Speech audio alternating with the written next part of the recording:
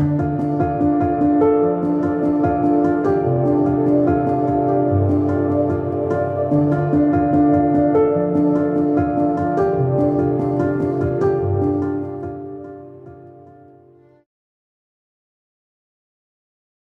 everyone and welcome back to the George Collection. I'm Rachel with Writeside Blonde.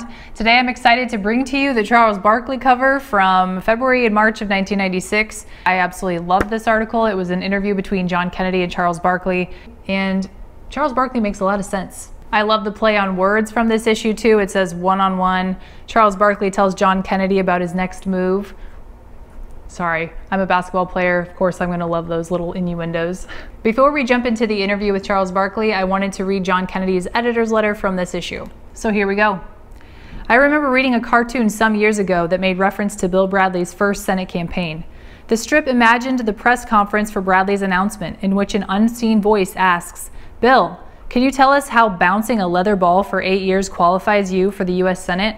But now that Bradley has been a distinguished senator from New Jersey for 17 years, retiring next year, his unlikely path to Washington via the hardwood floors of the NBA is little more than a quaint footnote. Charles Barkley wants to run for governor, and he wants to do it without forfeiting his flair for the incendiary statement. There are a few other things worth noting. He is a Republican. He is married to a white woman, and he wants to run in the state of Alabama. As long as Sir Charles is bouncing a leather ball, we forgive him for all the money he makes and the controversy he creates. As long as he is in that all too familiar role of the black entertainer slash athlete, we can discount what he says.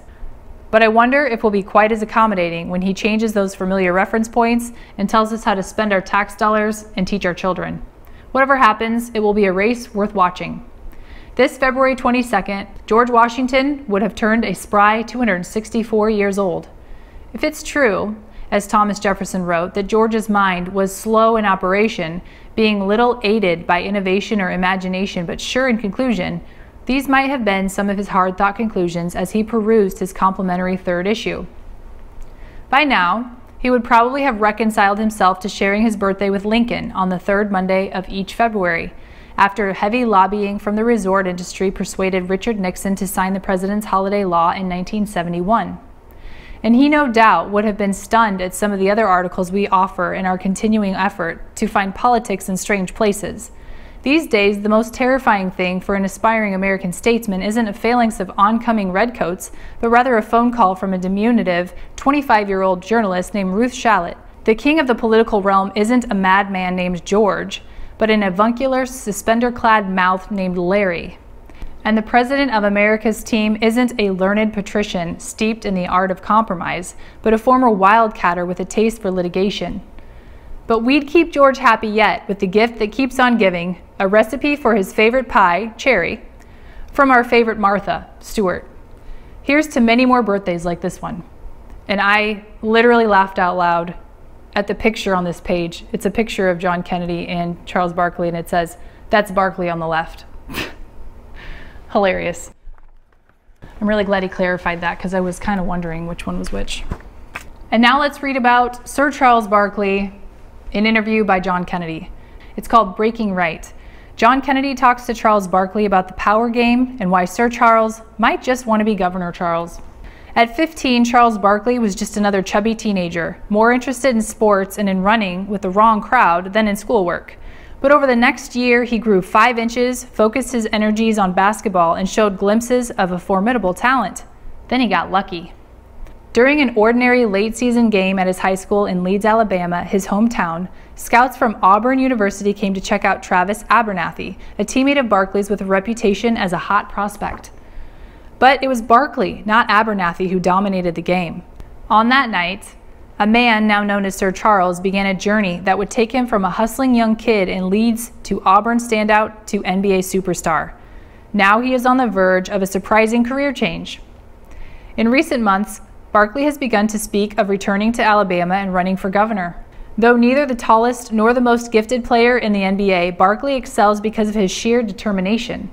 Particularly when a game is on the line, there is no one who wants to win more or works harder than Barkley does.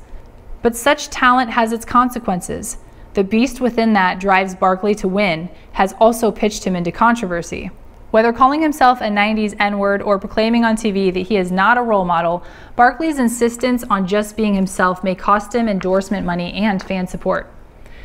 But during his traveling roadshow of life, he has moved beyond sports and has been transformed into a provocative cultural presence.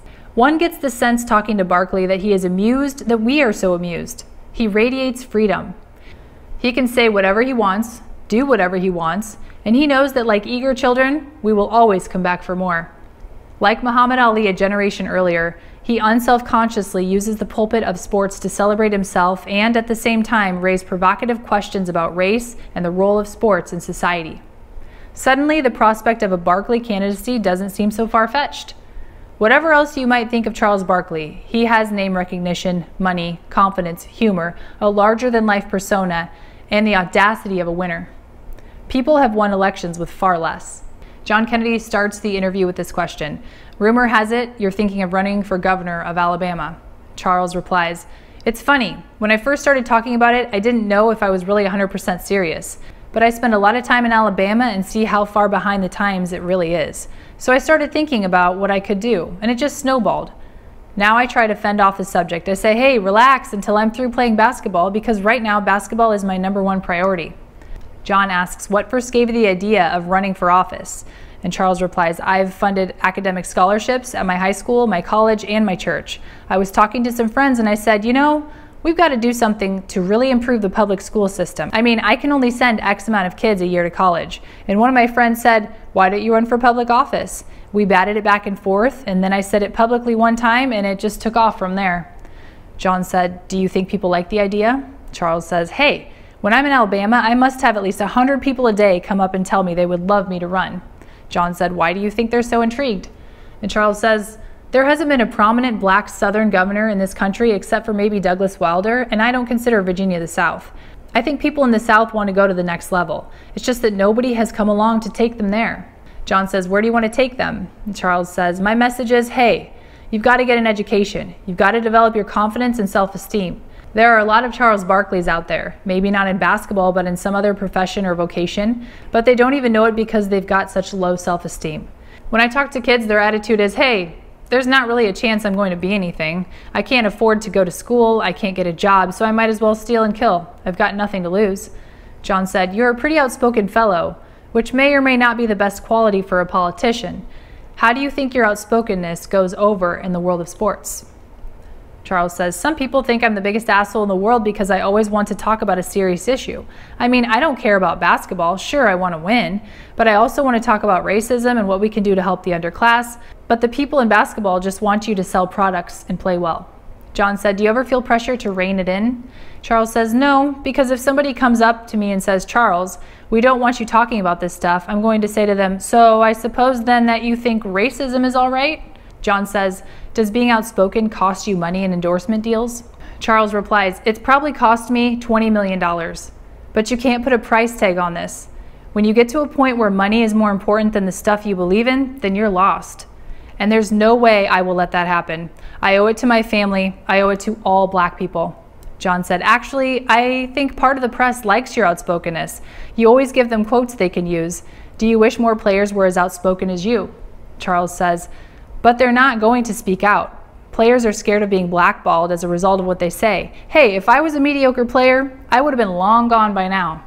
John said, Why do you really want to run for governor? Charles says, Because there's one thing I've learned in life that is very disappointing to me. The haves do not care about the have nots. It's sad. John said, You're definitely a have. Charles replies with, Right. And if we don't help the have nots, they've got no chance. That's why I'm trying to bring as many people with me as possible because otherwise they have no chance. I just wish poor people could be rich for one day and see how different it is from being poor. I've been both. It would be like, hey, I can do this. But no, they can't. The system is structured so they never get the chance. John says, Is your message of hard work and self reliance fundamentally a conservative one? Charles says, No question. But you know, conservative, liberal, moderate, those are all just words to me. I'm pro choice, for example. I'd prefer that people didn't have abortions, but it's not up to me. John said, But you've said that you're a Republican. Charles says, I don't like everything about the Republican Party, but there are things about the Democratic Party that drive me crazy. John says, Like what?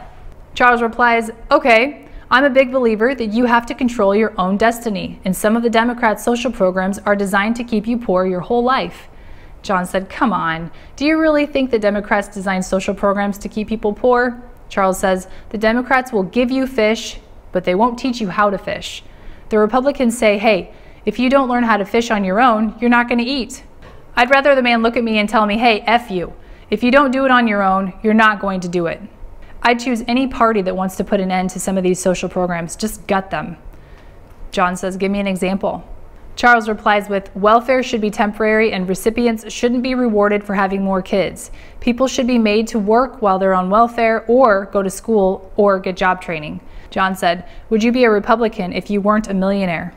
Charles replies, Republicans don't penalize you for being successful but you do change, and there's nothing wrong with changing. I have a lot of friends who work for me, and at the rate I get taxed, I feel like I'm always out of money, but I'd lay them off before I became poor again. John said, What does your family think about your being a Republican?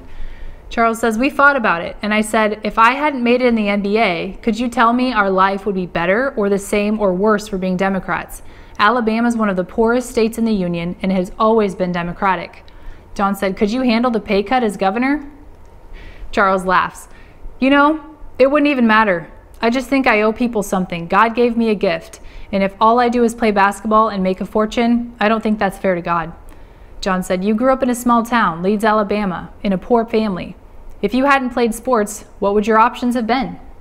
Charles said, When you're from a small town or you're poor, you really don't have a lot of options. You can't afford to go to school, but you can't get a job either. People who have the great willpower and self esteem to push, push, push can overcome that. So I either made it in sports or I didn't make it.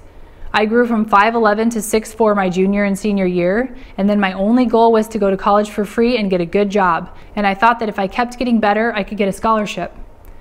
John said, Did you go to college in Alabama to be near your family? Charles replies with, Yeah, my mother and grandmother were far and away the most important people to me. My father was not there. John asks, did your family tell you that college and sports were your ticket out? Charles replies, See, in Alabama, when I was growing up, all the kids ever talked about was making it in sports. They still don't realize that it's a lot easier to be a doctor or a lawyer or an engineer than it is to be an NBA player. John said, That sounds an awful lot like your ad in which you say, I'm not a role model, your parents are your role models. Charles says, Right.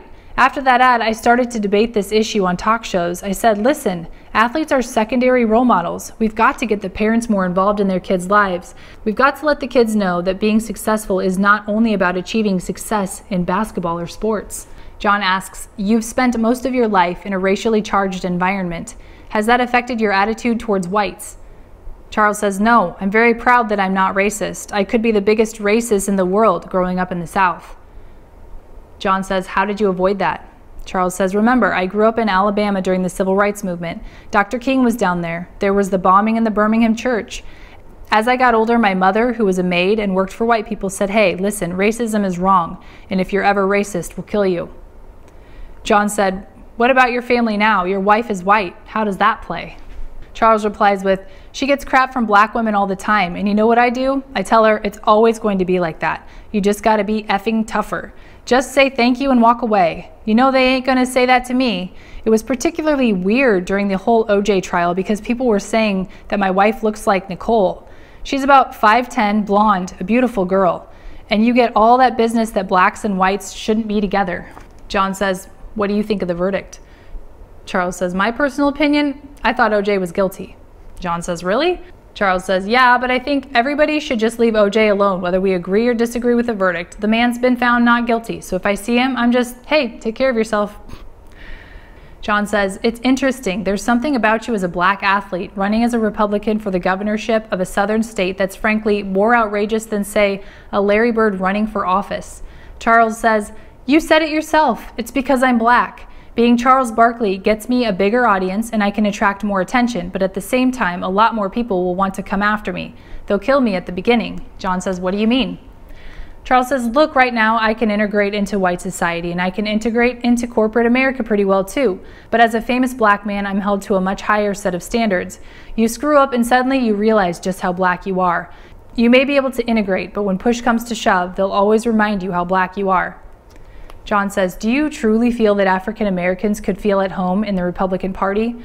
Charles replies with, Black people always say, we're Democrats and that's it. They think Republicans only look out for rich people, and the bottom line is 90% of black people are poor. So if I'm not smart enough to think for myself, I'm going to vote for the people I've always been told to vote for. Look, in a lot of ways, I really do want to be a Democrat. But they've got to show me that they're trying to raise people up and not just let them simply survive. Because you can't just survive in America. John Kennedy asks Is there racism in basketball? Charles replies with, I don't think so. One of the reasons I've always enjoyed sports is because it brings races together. I have white people cheering for me who might not like black people, but they'll cheer for me just the same. John says, Is the lure of success in pro sports a mixed blessing for African Americans? Charles says, well, sports are somewhat detrimental to blacks because even though some blacks are generating billions of dollars, that money is not really helping the black communities. I would love to see some of those billions put back into inner city or into poor black neighborhoods, but it won't get there because that's just the way it is. I read that Michael Jordan is making $40 million a year, and if they're paying him $40 million, they've got to be making an astronomical amount on him, and that money's not getting to blacks. John asks, does the NBA do enough in the way of funding inner city programs? And Charles replies, They do token stuff like the Stay in the School program. If I had any say in it, I'd make the NBA do more. They run a $5 billion business. And even though the players make a lot of money and the league makes a lot of money, they're all greedy. They make the money and want to keep it to themselves. John says, What do you suggest they do? Charles replies with, I think they should make every team donate $1 million in real scholarship money. These kids in the cities are buying our products. We should help them. Because let me tell you something if we keep letting the have nots suffer, they're going to eat us up. John said, I was in your state of Alabama a few months ago and learned about the chain gangs doing cleanup work on the state's highways. What do you think of them? Charles says, I think they're great. John said, Why? Charles says, Because I think that every prisoner should be made to work eight hours a day to clean up the street to earn their keep. Certain people can be rehabilitated, and those people should be taught crafts and job skills, John said. And the violent criminals who can't be rehabilitated, Charles says, they should be made to work. You know, it costs more to keep someone in prison than to send them to college. And as a taxpayer, I don't want to spend that much. John said, We keep hearing talk of your retirement, so here's your chance. When are you going to retire? Charles says, I'm 32. My ideal scenario would be to play this year and then take a couple of years off and relax. John says, Any reason for the break? Charles says, I'm tired and beat up, and I want to relax for a little bit. I don't want to jump right into the fire. My back is killing me, my knee is killing me. Sounds like a true basketball player. John said, And what about the political plans, the governorship? Charles says, Hey, I'm only 32. I could care less about working. I've never had a job and I don't really ever want to have one. It's not going anywhere. The same problems will be there, but a lot of people think I can win. John said, Last question. Do people ever accuse you of being co opted because you're rich and hang out with white people? After all, entertaining a majority white audience in the arenas like you do, doing endorsements for big corporations, Charles interrupts. I have been very consistent talking about racism. I always tell people if you really, really want to experience racism, number one, grow up in Alabama. Number two, marry a white woman. And three, be an outspoken black man. And that means no matter how much money I will make or how well I play basketball, I'll always be black. Number one, I love this article because it's about basketball. Number two, I love this article because Charles Barkley brings up some great points about being black and being a Republican. I think there's this sense of it being an oxymoron these days, but the more time goes by, it seems like there are more minorities waking up to the fact that perhaps the Democratic Party is not what they thought it was. And speaking from experience as a former Democrat, I can see why they would go from Democrat to Republican. I just think Charles Barkley was ahead of his time when it comes to race and political parties. I think he had it right back in the 90s. I'd love to know your thoughts of this article. Put it in the comments if you have time. I really appreciate you watching. Have a great week, and I will see you next time.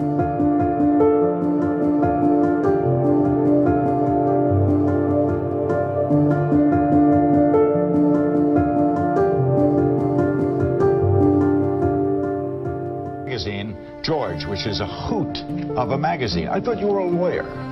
I was. What happened? Well, we uh, we decided. I mean, actually taking a cue from, from folks like yourself and you around the 1992 election that, that there was an opportunity here to uh, change the definition of a political magazine. Uh, certainly the way Americans were uh, accessing information about politics and politicians was changing. Uh, candidates were appearing on late night talk shows, on talk radio, on sitcoms, uh, and there was a, a kind of a leveling process. And while the rest of media clearly had caught up with that, we felt that political magazines per se hadn't. Your mother was a hell of an editor at Doubleday. That's what I hear. Would she have liked George? I think she would have.